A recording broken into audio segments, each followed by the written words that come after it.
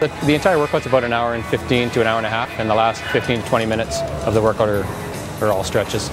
And that's even if I'm here on my own now. I don't need Brad to, to be watching over me to make, sure, make sure I'm doing my stretches. I'm doing them. I never enjoyed stretching. Uh, at the end of my workout, it was just the end of my workout.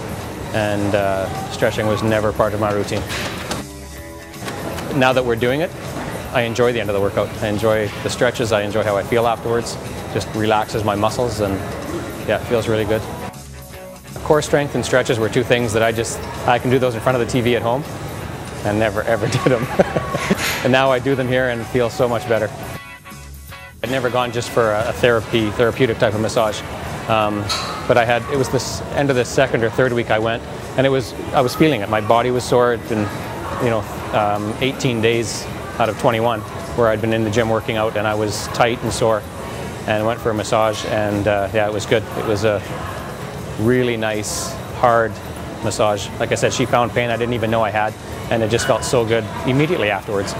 Felt really good.